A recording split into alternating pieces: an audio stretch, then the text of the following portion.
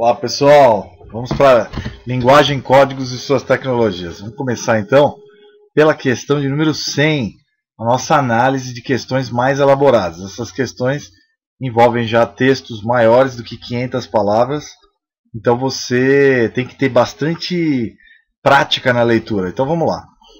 É, hoje a gente vai começar pela questão número 100, que é uma questão falando de teatro. Vamos lá questão que fala sobre o teatro. Então vamos mandar brasa aqui sobre essa análise. O que você tem que buscar dentro desse texto são as palavras explicitamente chaves, né? São as palavras que vão definir o texto. E é nelas que a gente vai agora se focar. Então são palavras é, que vão dar sentido ao texto. Então vamos lá. No gênero dramático é aquele em que o artista usa intermediária entre si o público e a apresentação. A palavra vem do grego drau, que quer dizer fazer, que quer dizer ação.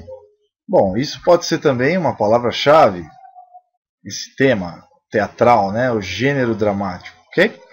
A peça teatral é, pois, uma composição literária destinada à apresentação por atores de um palco, atuando e dialogando entre si, como num teatro mesmo, que a gente vê um diálogo como pessoas no dia a dia, no cotidiano.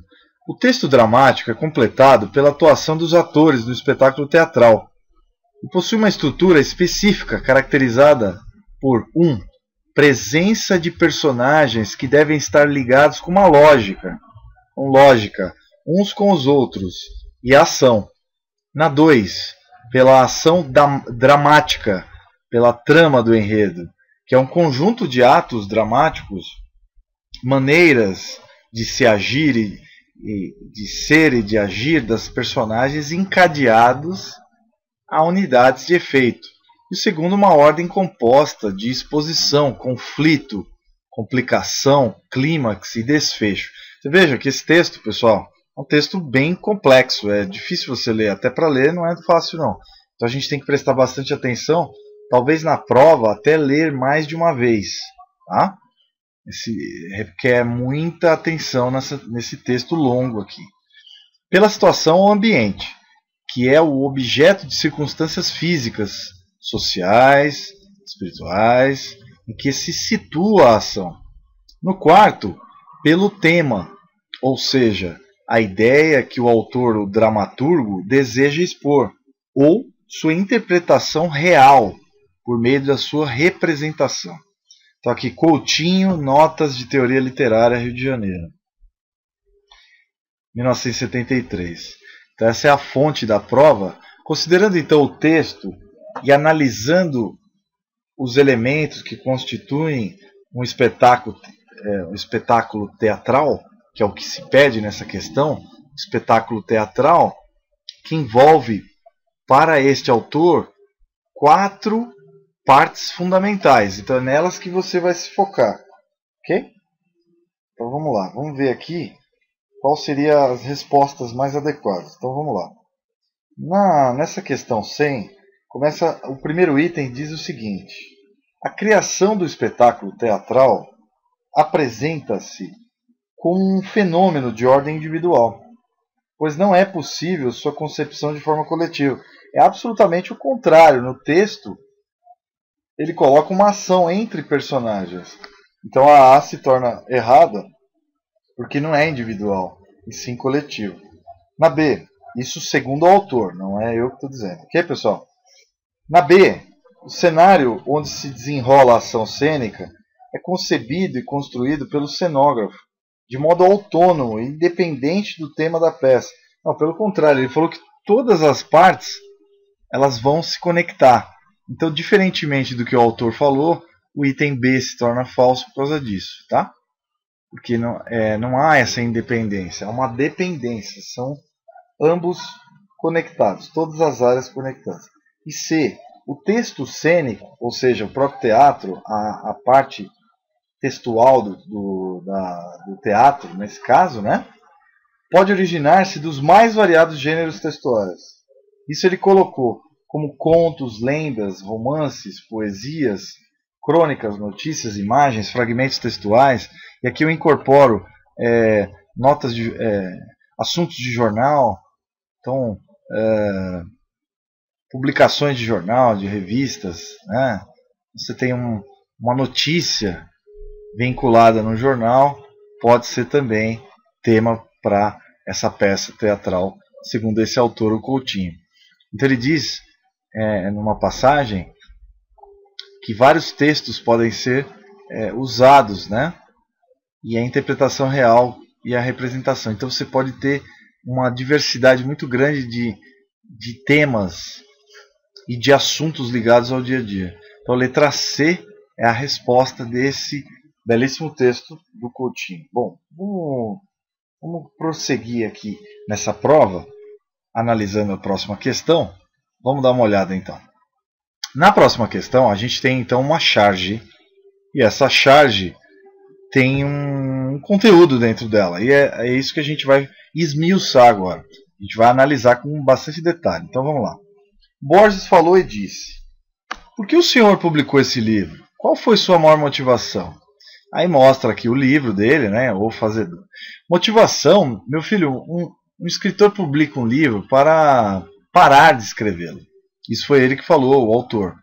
Eu não aguentava mais escrever e reescrever, e revisar, e acrescentar, e suprimir. Você vê que está tudo junto, sem vírgula. E reescrever, e consertar palavrinhas, e revisar. Depois ele escreve bem grande, e reescrever. Né? Então, Xavier, quadrinho, quadro, disponível em 5 de julho de 2009. Então, aqui no caso, quantas vari variantes linguísticas presentes no texto, a norma padrão da língua portuguesa é rigorosamente obedecida. Você vê que, mesmo sem a vírgula, ele fala: Eu não aguentava mais escrever e reescrever e revisar e acrescentar e suprimir, sem vírgula, ó. E reescrever e consertar palavrinhas e revisar e reescrever. Até ele não está aguentando mais e mostra a charge saindo como se fosse uns pininhos da cabeça dele. Ele já estava bastante cansado de escrever. Então, quantas vari variantes linguísticas presentes no texto, a norma padrão da língua portuguesa é rigorosamente obedecida por meio de. Então, gente, o que a gente vai analisar aqui é quais das passagens desse texto estão rigorosamente é, dentro da língua portuguesa. Então, A. Do emprego do pronome demonstrativo esse e, e em por em que o Senhor publicou esse livro, por, não, não, mostra também que é a língua rigorosamente padrão, né? Então a A está errada, né? Por causa disso. Do emprego do pronome demonstrativo esse e em por que o Senhor publicou esse livro também não, não mostra isso. Na B, do emprego do pronome pessoal oblíquo em meu filho, o escritor publica um livro para parar de escrevê-lo. Aqui sim, você vê o, o pronome pessoal meu, que denota o que? Um padrão da língua portuguesa, né? Então, tá correto. A B entra nessa análise. Agora vamos ver a C. que diz a C? Nessa, nessa preposição C, do emprego do pronome possessivo, sua, em qual foi sua maior motivação? Ele também fala corretamente. Então aqui começa um dilema, porque as duas questões estão certas. A banca anulou essa questão, essa questão foi anulada pela banca do MEC, mas me parece que há então um conflito de duas questões corretas. Inicialmente a B, por meu filho, um escritor publica um livro para parar de escrevê-lo. E no, no segundo trecho, do emprego do pronome possessivo sua, em qual foi sua maior motivação? Também ambos corretos. Na D, do emprego do vocativo meu filho, que confere à fala distanciamento do interlocutor, pelo contrário, há uma aproximação do interlocutor quando ele fala meu filho, né? ele está falando diretamente para o repórter. E na E, da necessária repetição do conectivo no último quadrinho. Na verdade, ele não repete, ele só faz uma ligação então é, ele continua escreve, falando e o conectivo é usado para exatamente por essa função de juntar esses verbos. Bom, na próxima questão, tendo em vista a segunda fala do personagem entrevistado, constata-se que a o entrevistado deseja convencer o jornalista a não publicar o livro de forma alguma. Ele, pelo contrário, está explicando como é o processo. B. O principal objetivo do entrevistado é explicar o significado da palavra motivação? Também não, ele não explica isso. Isso não está presente no texto que a gente acabou de ler, nessa charge. Isso, isso não ocorre. Ok, pessoal? Na C, são utilizados diversos recursos da língua literária, tais como metáfora e metonímia. Aqui no caso ele não, ele não utiliza essa, essa forma de se escrever na língua portuguesa. Ele não usa esse recurso. Então a, a C também se torna falsa por causa disso. E a D, vocês viram que é uma análise criteriosa que você tem que fazer, não é moleza. Vai ter que treinar bastante para fazer isso. Né? Na D, o entrevistado deseja informar de modo objetivo o jornalista sobre as etapas de produção de um, de um livro. Não, ele quer algumas opiniões. O que, que realmente o escritor está sentindo. Você vê que ele não aguentava mais escrever. A, a última frase é muito engraçada, já li várias vezes, mas eu não aguentava mais escrever e reescrever e revisar e acrescentar. Ou seja, ele estava de saco cheio de escrever. é isso que ele demonstra nessa questão. Então, só que ele demonstra explicando as etapas. Então a letra E, ó, o principal objetivo do entrevistado é evidenciar seu sentimento com relação ao processo de produção de um livro. Exatamente, ele está evidenciando o sentimento dele de não aguentar mais escrever, ter que fazer as revisões e aí sucessivamente. Então é letra E. Bom, a gente vai dar prosseguimento agora. Questão 107 e a questão 108. Vamos lá. Nessas questões agora de, de língua portuguesa, é, mais do que a gente levar em conta o texto, a gente tem que também tomar muito cuidado também com o modo que é escrito esse texto. ok? Então vamos lá. A gente saiu aqui do, da questão, agora vamos para 103. Questão 103, saúde. Então vamos lá. Saúde no modelo atual de qualidade de vida é o resultado das condições de alimentação, habitação, educação, renda, trabalho, transporte, lazer, serviços médicos e acesso à atividade física regular. Quanto ao acesso à atividade física, um dos elementos essenciais é a aptidão física, entendido como a capacidade de a, de a pessoa utilizar seu corpo incluindo músculos, esqueleto, coração, enfim, todas as partes. Isso é o texto que está colocando. Então você vai levar ao pé da letra o que te pede no texto. O texto é seu guia. Tá? Isso não foi escrito por mim, é pela prova do vestibular. E eu estou resolvendo essa prova, estou lendo para vocês. Então, incluindo músculo, esqueleto, coração, enfim, todas as partes. De forma eficiente em suas atividades cotidianas. Logo, quando se avalia a saúde de uma pessoa, né? Aqui falando da saúde das pessoas, quando se avalia então a saúde das pessoas, a aptidão física deve ser levada em conta. A partir desse contexto, considera-se que uma pessoa tem boa aptidão física quando, segundo esse texto. Bom, segundo o que ele falou, ele, ele coloca que tanto a saúde como o bem-estar físico estão ligados à aptidão física. Então vamos lá. Vamos entender o que, que é pedido na questão.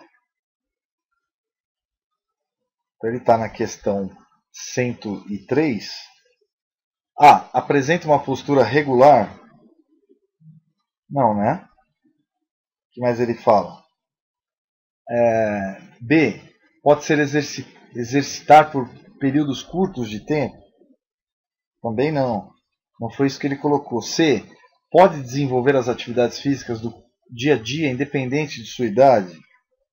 Bom, dependendo do que ele colocou, a gente vai analisar. Vamos voltar aqui para a questão 103. Vou mostrar aqui para vocês. Vamos lá. E na D, pode executar suas atividades do dia a dia com rigor, atenção e uma fadiga de moderada a intensa. ele não explica os detalhes técnicos de como ter aptidão física, não é? O que ele fala é que quando você avalia a avaliação de uma pessoa, a saúde de uma pessoa, a aptidão física deve ser levada em conta. que é quanto acesso à atividade física, os elementos essenciais, entende como a capacidade de utilizar seu corpo, incluindo músculos, esqueleto e coração. Então ele não deu nenhuma regra específica para aptidão física. Beleza? Bom, seguindo então, o roteiro, o texto define a aptidão física como a capacidade da pessoa utilizar seu corpo. Aqui, ó, pode ser desenvolver atividades físicas no dia a dia, independente da sua idade. A mais correta mesmo seria a que fala do, do exercício físico diário. Seria a letra D. Ele só não dá detalhes. E E pode exercer atividades físicas no dia a dia, mas suas reservas de energia não, não são suficientes para atividades intelectuais. Isso não é colocado. O que ele coloca é que a qualidade de vida também é resultado da alimentação, habitação, educação, renda, trabalho, transporte, lazer, serviços médicos e acesso à atividade física regular. Quanto ao acesso à atividade física, um dos elementos essenciais é a aptidão física. Então ele coloca. Então, letra C é que melhor explica essa situação do texto, do que o texto está falando sobre atividade física. Vamos para agora para a questão 104 diferentemente então do texto escrito. Vamos lá. Que em geral compete compele os, perdão, os leitores a lerem numa onda linear. Então, ó, diferentemente do texto escrito, que em geral compele os leitores a lerem numa onda linear, da esquerda para a direita, de cima para baixo, na página impressa, hipertextos encorajam os leitores a moverem-se de um bloco de texto a outro, rapidamente e não sequencialmente. Considerando que o hipertexto, então a palavra-chave aqui desse texto já é o hipertexto que a gente acabou de ler, oferece uma multiplicidade de caminhos a seguir, podendo ainda o leitor incorporar seus caminhos e suas decisões como novos caminhos, inserindo informações novas. O leitor navegador passa a ter um papel mais ativo uma oportunidade diferente da de um, de, de um leitor de texto impresso. Então veja, ele está comparando o texto impresso com o hipertexto de, de sites, né? na qual você clica em uma palavra e você vai pular para outra página que vai explicar essa palavra. Dificilmente dois leitores de hipertexto farão os mesmos caminhos e tomarão as mesmas decisões. Isso é incrível, né? Marcuse a, a cognição, linguagem e práticas inter, interacionais. No que diz respeito à relação entre o hipertexto e o conhecimento por ele produzido, o texto apresentado deixa claro que o hipertexto muda a noção tradicional de autoria. Por quê? A. É o leitor que constrói a versão final do texto. B. O leitor detém o controle absoluto do que escreve. Não. C. Aclara os limites entre o leitor e o autor. D. Propicia um evento textual interativo em que apenas o autor é ativo. B. É, letra E. Só o autor conhece o, o que eletronicamente se dispõe para o leitor. Bom, é, nesse caso você tem vários caminhos para o leitor. Então, a letra A é o leitor que constrói a versão final do texto, porque ele na verdade, ele vai lendo e usando o hipertexto e não tem fim. Pode ter milhares de possibilidades diferentes de uma mesma leitura. Um caso clássico é o Wikipedia. Vou dar um exemplo aqui para vocês, que é o Wikipedia, né, pessoal? Não sei se vocês já entraram no Wikipedia. O Wikipedia está melhorando muito. Aqui no Brasil já está tendo a regulação pela USP, então é, já tem uma coisa mais bem feita, não é tão mais feita por qualquer pessoa. E o Wikipedia você tem, por exemplo, um assunto como Pilha de Daniel, ou sei lá, um assunto sobre Oscar Niemeyer. Você tem vários textos anexos dentro desse mesmo texto que conta, por exemplo, a biografia do autor, de um arquiteto de qualquer pessoa. Então é uma, existe uma riqueza textual gigantesca. E a letra A é a melhor que é a questão que explica melhor preposição que melhor explica esse texto, tá bom? Então o texto fala do hipertexto. E o hipertexto cai todo ano no, no Enem, tá pessoal? O que, que é mesmo o hipertexto, professor? É um texto na internet que algumas palavras-chave do texto dão entrada para uma outra página que reexplica essa própria palavra, o que é uma coisa muito interessante e viva, que deixa o texto, vamos, vamos pensar assim, como analogia, vivo, né? Você consegue ler várias partes do que você realmente quer ler do texto. Você pode ainda entrar dentro do texto e, e descobrir essas palavras, o que, que elas significam, que é muito rico e num livro normal você não consegue fazer isso. Então é muito legal. Bom, na questão 105, a partir da metade do século, do século XX, ocorreu um conjunto de transformações econômicas e sociais cuja dimensão é difícil de ser mensurada. A chamada explosão da informação. Embora essa expressão tenha surgido no contexto da informação científica e tecnológica, seu significado hoje, em um contexto mais geral, atinge proporções gigantescas. Por estabelecerem eh, novas formas de pensamento e mesmo de lógica, a informática e a internet vêm gerando impactos sociais e culturais importantes. A disseminação do microcomputador e a expansão da internet vem acelerando o processo de globalização, tanto no sentido do mercado quanto no sentido das trocas simbólicas possíveis entre sociedades e culturas diferentes. O que tem provocado e acelerado o fenômeno da hibridização, amplamente caracterizado pelo próprio como próprio da pós-modernidade. Então, é hibridizar palavras, signos, símbolos e etc. Então é isso que a gente está analisando nessa questão. Então, vamos lá. O que, que, que, que se pede da questão? Vamos lá, queridos. Considere-se o novo texto social, novo contexto social e econômico, aludido no texto apresentado, as novas tecnologias de informação e comunicação.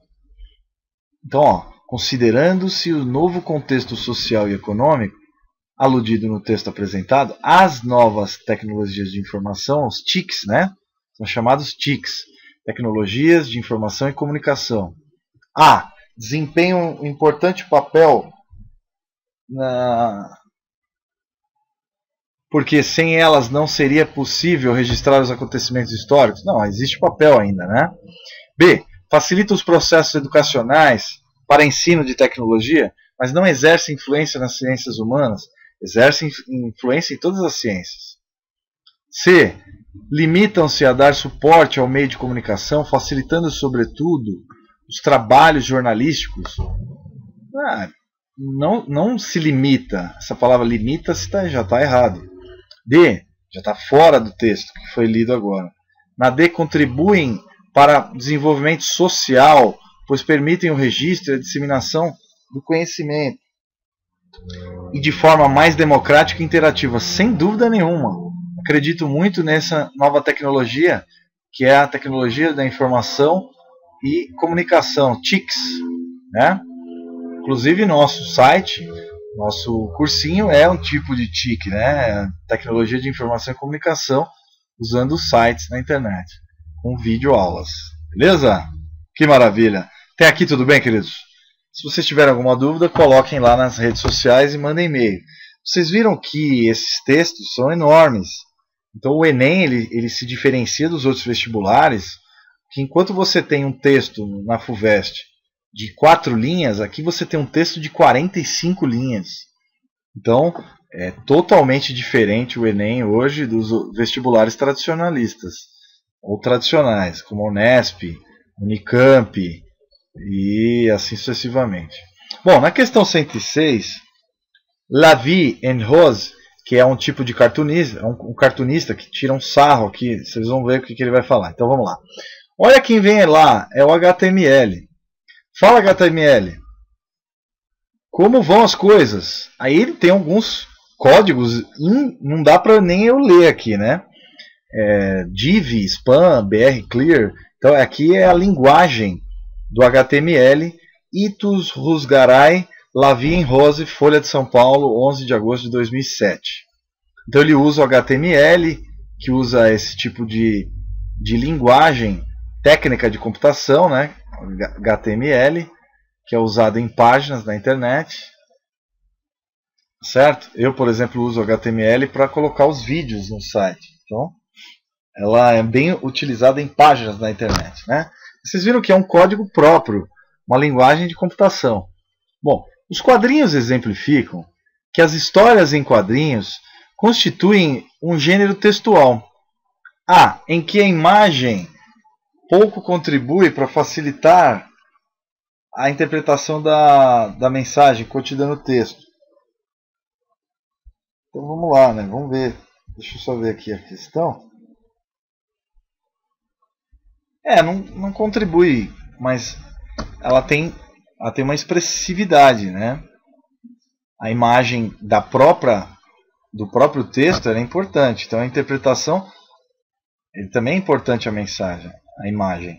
B, cuja linguagem se caracteriza por ser rápida e clara, que facilita a compreensão como se percebe na fala do segundo quadrinho, barra div, barra spam, é, e aí vai. BR clear igual a AL. Bom, isso não diz nada, essa linguagem não é clara para as pessoas. Não, eu não consigo ler isso quase, né? Só quem é especialista nessa área. C. Em que o uso de letras com espessuras diversas está ligado a sentimentos expressos pelos personagens, como pode ser percebido no último quadrinho. Também não, né? Não está clara essa linguagem. Ninguém consegue ler HTML como se estivesse lendo um livro. É um pouco mais complicado isso. É, um, é, uma, é uma linguagem para fixar a linguagem no, hiper, no site. Essa linguagem é técnica, ela está ligada à matemática também. E um código, é um código de, de programação. Na D, então, o segundo quadrinho, o balão, olha lá, mostra script, pan, numa boa, e vocês? Aí ele fala com algumas palavras. Possuem texto escrito características próximas a uma conversação face a face como pode ser percebido no segundo, é, segundo quadrinho. Ele, mesmo utilizando essa, esse, essa linguagem de programação, ele ainda utiliza aqui ó, a linguagem numa boa, e vocês, como vão, né? E fala como se estivesse conversando mesmo no dia a dia, mesmo usando essa programação de computador, bastante difícil de entender. E a letra E, em que a localização casual dos balões nos quadrinhos expressa com clareza a sucessão cronológica de, da história, como pode ser percebido no segundo quadrinho. Então aqui também não bate, então seria a letra D a resposta correta, letra D de dado. Beleza? Bom, continuando aqui, a gente estava na questão 104, 106 já, né? Vamos para a questão agora 107. Vejam vocês que essa parte da, da prova de linguagem não é moleza não. Os textos são enormes e você tem que prestar atenção em cada detalhe desses textos. Tá? Essa eu costumo dizer que é uma das provas mais difíceis mesmo na linguagem, porque envolve textos muito maiores do que das outras matérias. Então vamos lá. Texto para as questões 107 e 108. Texto 1. É praticamente impossível imaginarmos nossas vidas sem o plástico. Ele está presente em embalagens de alimentos, bebidas e remédios, além de eletrodomésticos, automóveis e etc.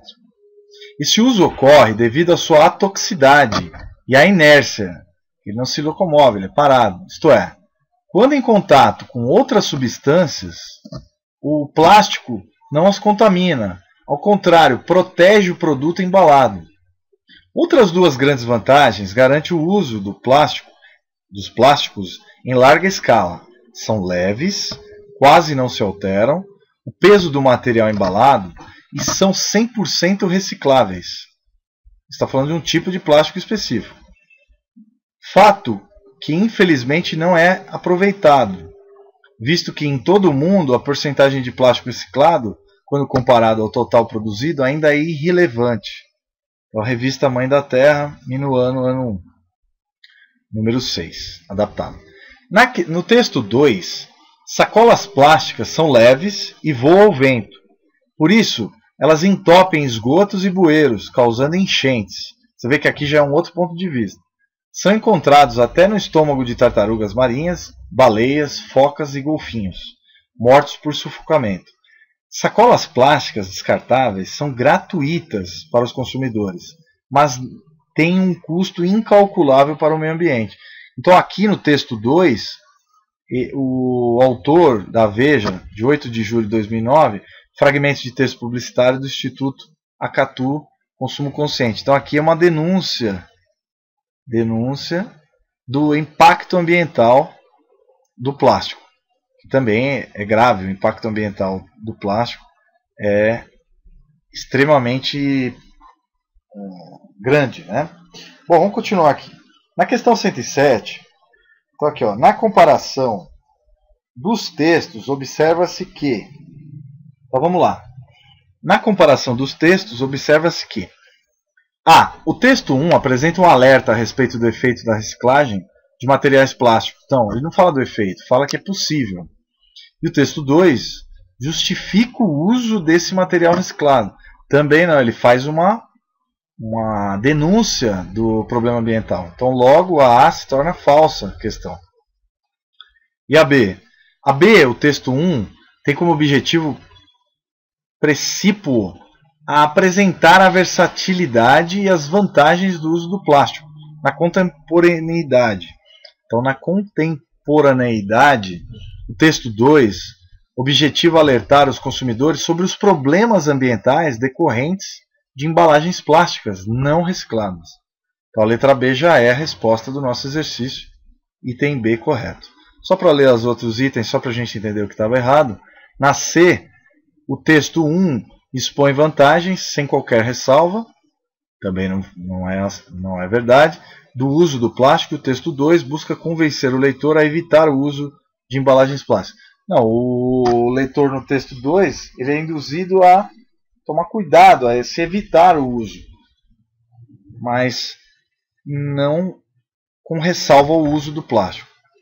Então ela se torna falsa a C por causa disso. Na D, o texto 1 ilustra o posicionamento de fabricantes de embalagens plásticas, mostrando por que eles devem ser usados. O texto 2 ilustra o posicionamento de consumidores comuns que buscam praticidade e conforto. Também não é isso que foi colocado. Então, logo está incorreto. Na E, o texto 1 apresenta um alerta a respeito da possibilidade de contaminação de produtos orgânicos industrializados decorrentes do uso de plástico em suas embalagens. O texto 2 apresenta vantagens, não, apresenta uma, uma crítica ambiental. Então, a F incorreta também. E a única resposta correta seria, seria a letra B de bola, B de Brasil, a correta. Bom, na questão 108, dando prosseguimento, a gente continuando essa análise do que a gente estava vendo, a gente pode inferir então que é uma outra análise também criteriosa. Então vamos lá. Em contraste com o texto 1, no texto 2 são empregados predominantemente estratégias argumentativas que a. Atraem o leitor por meio de previsões para o futuro. B. Apelam a emoção do leitor. Ele não usa esse tipo de apelo, ele usa a realidade, ele usa o que pode, quais são os efeitos do uso do plástico. C. Orienta o leitor a respeito dos modos de usar conscientemente as, as sacolas plásticas. Não, no texto 1 e no 2 não, não é colocado isso. Um aponta os problemas e o outro aponta ligações com a reciclagem. Na D, intimidam o leitor com as nocivas consequências do uso indiscriminado de sacolas plásticas. Também não intimidam, aqui está falso. Né? Aí, recorrem à informação por meio de constatações científicas, no caso, para convencer o leitor a evitar o uso de sacolas plásticas. Sem dúvida, um aponta a falta de reciclagem e o texto 2 aponta os problemas ambientais causados pelo, pelo uso errado do plástico. Deve ser reciclado, né? não jogado em, em ambientes naturais. Essa é a diferença dos dois textos. Tudo bem? Então estamos ainda na questão 108. Vamos continuar. Agora vamos para 109, questão que é uma charge também, né? Mostrando uma relação textual entre a charge e o que se pede da charge. Vamos lá. Na questão 109, você consertou o vazamento do barco? Pergunta o Hagar. Não. É, pense que você tinha. Pensei que você tinha consertado. Então, eles estão afundando aí no barco viking, né? O Brownie, o Hagar, o, o horrível. Então, o texto aqui do jornal O Globo, 2009. Então, é uma, é uma charge. Você consertou o vazamento do barco? Não. Pensei que você tinha consertado. E aí eles estão afundando o barco. Então, a linguagem da tirinha revela A. O uso de expressões linguísticas e vocabulário próprio é, de épocas antigas. Também não é verdade. O que ele utiliza aqui é um conceito cotidiano, ele está tá usando o coloquialismo, mas com a, a norma culta da língua portuguesa. B. O uso de expressões linguísticas inseridos no registro mais formal da língua. Não, aqui ele está conversando com os marinheiros do barco a respeito de quem consertou o vazamento do barco. Apenas isso. Então, é um dia a dia. Linguagem do dia a dia, mesmo que usando normas cultas da língua. C. O caráter coloquial, é isso, do dia a dia, ó, expresso na C pelo uso do tempo verbal, no segundo quadrinho, exatamente. Então ele, ele vai usar o que? Você. Você segunda pessoa, né? Então, quando você fala você, tu, é a segunda, é, é, é o segundo quadrinho. Então nessa, nesse caso, o caráter coloquial pelo uso do tempo verbal no segundo quadrinho. Então ele usa o tempo verbal. Pensei, olha lá. Pensei que você tinha consertado. Então tempo, tempo verbal, passado. Ele achou que ele já tinha consertado antes. Então a letra C, resposta correta. Beleza? Questão essa mais simples do que as outras. Na questão 110, vamos fazer uma leitura também mais aprofundada. Você vê que o texto é um pouco grande e rabuscado, né? Então vamos prestar bastante atenção agora aos detalhes desse texto. O portal Domínio Público, lançado em novembro de 2004, propõe o, o compartilhamento perdão, de conhecimentos de forma equânima e gratuita. Quem não lembra o que é equânima? Equânima é igual, igualitária, né? Colocando à disposição todos os usuários da internet uma biblioteca virtual que deverá constituir referência para os professores, alunos, pesquisadores e para a população em geral. Esse portal constitui um ambiente virtual, quer dizer, não é uma biblioteca física, é uma biblioteca dentro da internet, que permite a coleta, a integração, a preservação e o compartilhamento de conhecimentos, sendo seu principal objetivo o de promover o amplo acesso às obras literárias, artísticas e científicas na forma de textos, sons, imagens e vídeos, já em domínio público ou que tenham a sua divulgação devidamente autorizada. Brasil, Ministério da Educação, disponível em http www.dominiopublico.gov.br. Acesso em 29 de julho de 2009, adaptado.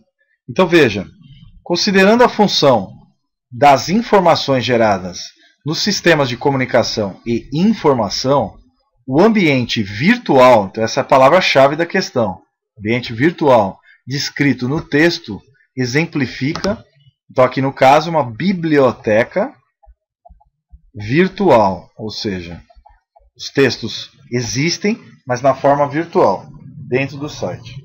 Então, é, ó, você vê, veja o que, que o Enem está pedindo para vocês. Né? Então, ó, na A, a dependência das escolas públicas quanto ao uso de sistemas de informação. Então, ele está de, defendendo o uso para todos, não para um setor só da sociedade. B. A ampliação do grau de interação entre as pessoas a partir da tecnologia convencional. Não, uma tecnologia virtual digital. C. Você vê que eu tô, vocês podem perceber que eu, eu sempre me guio pelo texto. Então, uma das nossas regras aqui para a gente analisar textos da internet é quando o texto é colocado, ele é o nosso guia, não o que a gente acha mas o que está dentro do texto. O texto é, nesse caso, nosso guia da questão. Claro que usando bom senso. Então, na C, é a democratização da informação por meio da disponibilização de conteúdo cultural e científico à sociedade. Verdadeiro, né? Não tenho como negar essa questão. Letra C. Para as outras, a gente usa um, um, um artifício, uma técnica chamada técnica de negação Então você vai usar aquilo que não bate com o texto, logo está incorreto. E por lógica está incorreto. D. A comercialização do acesso. Não, ele falou que é gratuito. Logo está errado. Letra E. A produção de repertório cultural direcionado a acadêmicos e educadores. Não. Direcionado a todo o público que quiser ver e ler, compartilhar. Né? É democratizado esse conhecimento. Então a letra C é a que melhor expressa o texto e é a correta nesse caso dessa questão. Beleza? Continuando a nossa análise, vamos para a última questão, que é a questão de número 111. É a questão que eu gosto muito, que fala dos TICs, a tecnologia de informação e comunicação. Então vamos lá. Essa questão também ela é elaborada e a gente vai agora tentar extrair do texto as palavras-chave principais e com essas palavras a gente define o que se pede da questão. Então vamos lá. As tecnologias de informação e comunicação, TIC, vieram aprimorar ou substituir meios tradicionais de comunicação e armazenamento de informações, tais como o rádio e a TV analógicos, os livros, os telégrafos, o fax, etc. As novas bases tecnológicas são mais poderosas e versáteis introduzindo fortemente a possibilidade de comunicação interativa e estão presentes em todos os meios produtivos da atualidade. As novas TIC, como é falado no texto, vieram acompanhadas da chamada Digital Divide, ou Digital Gap, ou ainda Digital Exclusion, produzidas para o português como divisão digital ou exclusão digital, sendo às vezes também usadas como como termos de brecha digital ou abismo digital. Nesse contexto, a expressão digital, divisão digital, refere-se a.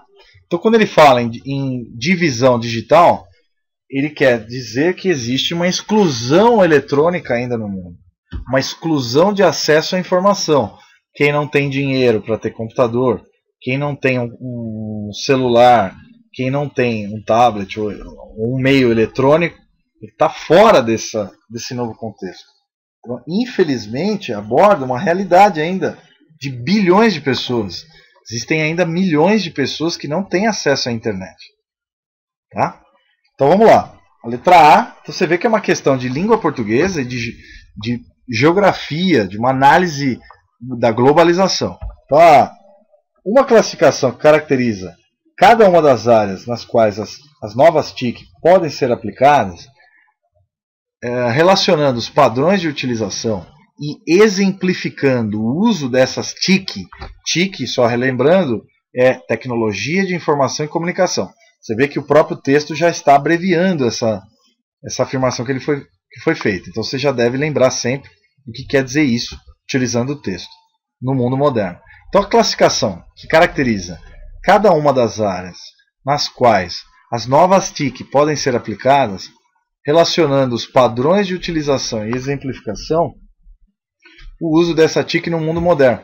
Não é isso que ele está falando. Ele falou de divisão digital, não da classificação.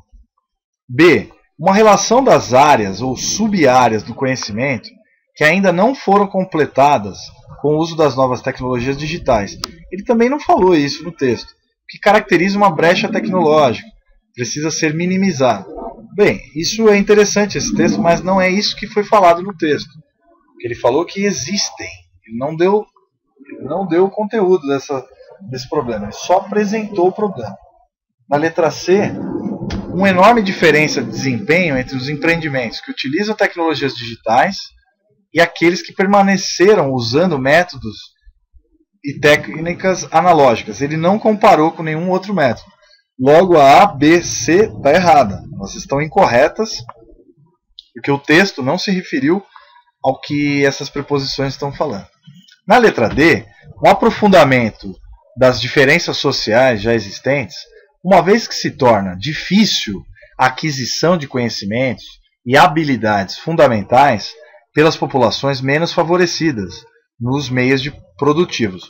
Então, na questão D, segundo o texto, foi o que ele colocou. Então, segundo o texto apresentado nessa questão, o texto que é de, de não, não coloca autoria, né? Ele, ele apresenta então essa divisão digital entre quem tem acesso, quem não tem acesso a esse meio produtivo. E na E, uma proposta de educação para o uso de novas pedagogias com a finalidade de acompanhar a evolução das mídias e orientar a produção de material pedagógico, com apoio de computadores e outras técnicas digitais. Isso também não foi apresentado pelo autor no texto.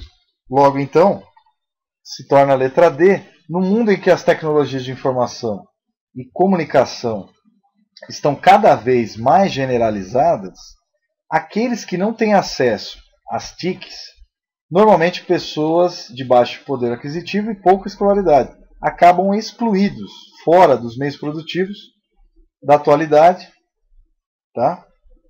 assim como a exclusão social se mistura à exclusão digital. Então é uma forma de exclusão social também a exclusão digital. Então a gente termina essa análise. Vimos a questão 100 até a 110. Foram 12 questões e que você deve sempre levar em consideração o que eu falei. Muita atenção, muita leitura diária. A leitura que vocês devem fazer deve ser diária. O hábito faz o monge, não é? Então, quem não lê tem certas dificuldades para se fazer essa prova. Até para quem lê diariamente, essa prova de linguagem do Enem não é fácil, não. Você tem que tomar muito cuidado com ela, tá bom? Grande abraço e vamos estudando. Até as próximas aulas para a gente fazer essas 180 questões. Grande abraço a todos. Tchau, tchau.